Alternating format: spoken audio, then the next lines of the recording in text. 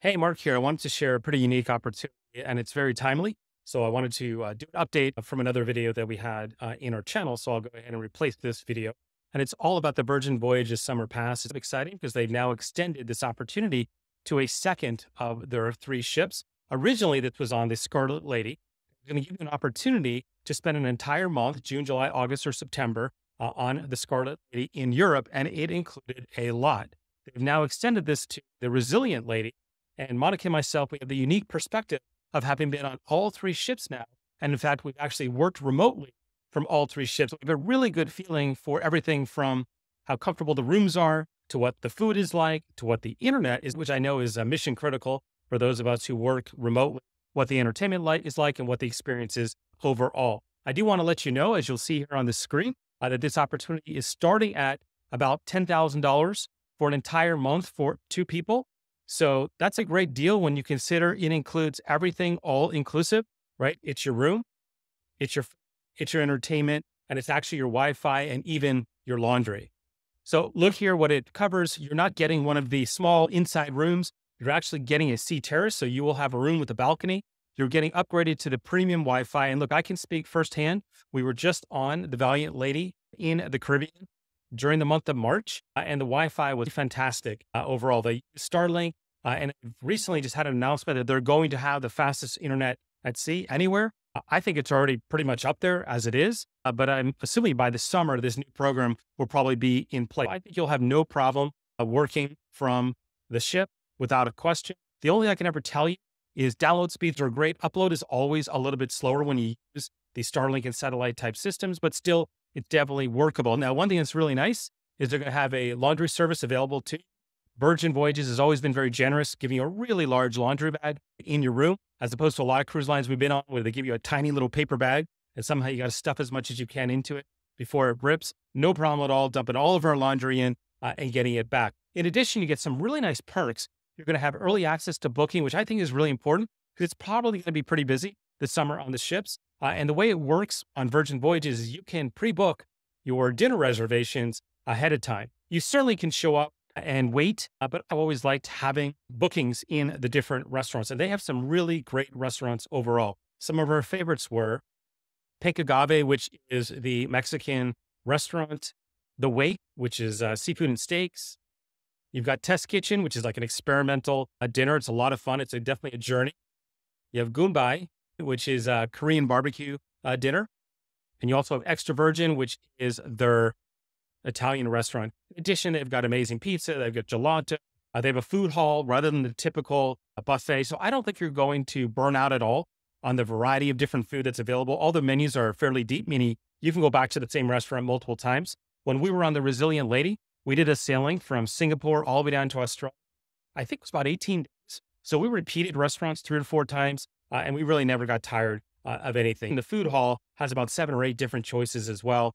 So that's not going to be a problem. In addition, you can see you're going to get access to Richard's rooftop. If you haven't sailed on Virgin Voyages before, this has always been reserved for just suite guests, which we had the opportunity to be uh, one of the suite guests on the Valiant Lady. It's Rockstar cabins. Uh, and that was a lot of fun. Uh, Richard's rooftop, it has a happy hour every night. So you get some free drinks on a limited menu.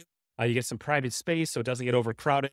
And it's, it's a lot calmer of an experience. So you're going to be working and working remotely, I would have no problem grabbing my laptop uh, or my phone or coming up to the rooftop, finding a space uh, and being able to do a little bit of work or watching some videos, or whatever you need to do. A little bit different at the main pool. I think this is a great opportunity. You get a $10 day credit. They've got some really great specialty coffees. That's good for about two really nice specialty coffees and some additional uh, perks as well. This is a really great package. You're not quite getting status, but you're getting some of the perks and some of the benefits for being in a suite at a pretty incredible deal. Think about it, it's $5,000 per person for an entire month. Now, the next decision you have to make is if you're interested, you need to express interest because I think it's gone over very well with the Scarlet Lady, which is why they've extended it now to the Resilient Lady. That was my favorite ship of the three, by the way. It is the newest. Uh, the Scarlet Lady was the original, but they're all pretty much identical. Uh, you're not going to have any dramatic differences in the experiences. I think they just made a few improvements on the Resilient Lady that I appreciated. But again, I don't think it's going to make that much of a difference between uh, the two different ships. So I would go for the one that has the best itinerary. And if you go to the link, and I'll put down in the notes below a link to this page on Virgin Voyages. I'm also going to put a link down below to a very thorough article that we did on pros and cons of taking uh, a cruise on Virgin Voyages. You're going to want to see that because we loved it. But there's some things you need to be aware of going into uh, this cruise ship. They do some things differently. It may not be for everybody. If it's for you, you're going to love it. But I think that article is going to be great to reference you can hear what we loved, what we didn't, and anything in between. But look at it this way Scarlet Lady, basically, what you're going to do over the course of June and July, August, and September, you can choose the month you want to go on, is you're going to basically repeat two itineraries. And you can see it's going to be the French days and Ibiza nights. You'll do that twice, and you'll do the Irresistible Med twice. And it's nice because it's every other. And it's the same each month that you can see, and you'll have multiple ports. I'll show you some of the details on that in a moment.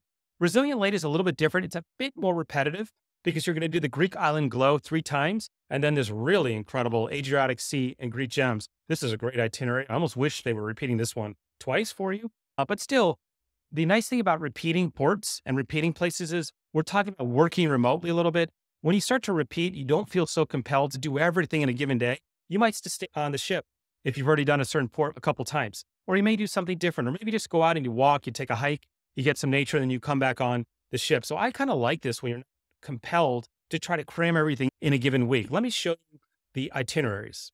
So on Scarlet Lady, uh, you're going to be doing, doing this one twice. You'll start in Barcelona. So you do need to think, I need to get myself to Barcelona. That is one extra cost. Uh, but you've got Marseille, you've got Cannes, Palma de Mallorca, Ibiza, and this is an overnight, which is really cool in Ibiza. And then you'll be back on Barcelona, but you're lucky. You're not getting off the ship. That's just your first week. Now you're going to move on to the second week.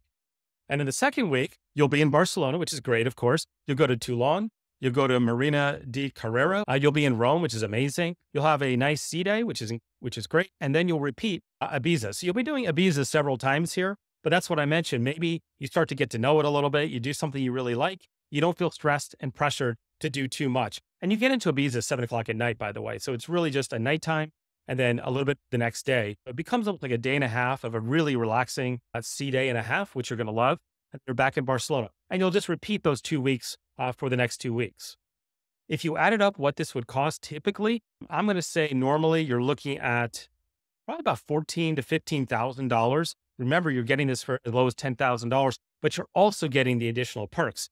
One week in Rockstar you can see up above is about five thousand dollars. Right, times that by four, that's twenty thousand dollars. You're not getting all the Rockstar status, but you're getting a lot of the nice perks. Uh, just really a different cabin overall for pretty significant savings. All right, so if you choose the newer ship, the Resilient Lady, you're going to repeat this itinerary three times. And you'll start in Athens. That's where you'll be starting and ending. You'll do Santorini, Rhodes, Bodrum, Mykonos, uh, and then back uh, to Athens. You'll do that one three times, but you'll also add one of the four weeks will be this itinerary.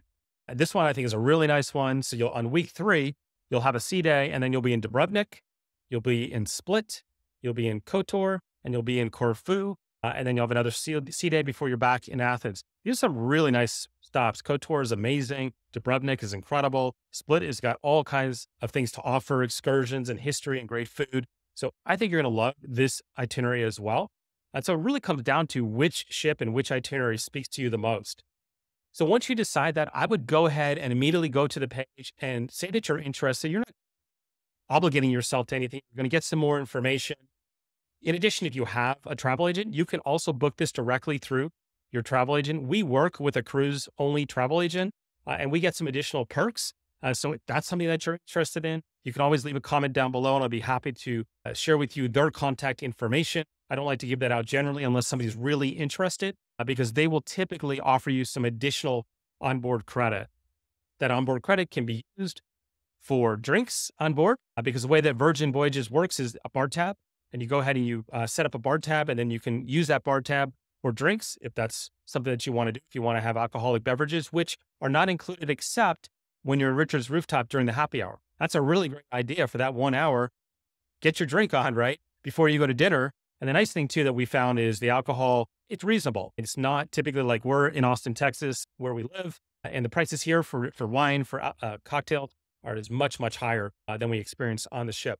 But anyway, if you were a digital nomad, if you've ever thought about doing a cruise like this, staying on board for a month, maybe only having to unpack once, I think this is a really neat opportunity in a, a trend setting cruise line with some really neat ships. And I think you have uh, a great time if it appeals to you. But definitely read the article, the pros and cons. If you have any questions, leave them down below. Like I mentioned, Monica and myself, we've been on all three ships, so we can use what we thought uh, about each one and the experience if you have any questions in particular. All right. And if you do go ahead and book, also let me know down below. Be really curious to uh, hear about your experiences. Take care, everybody.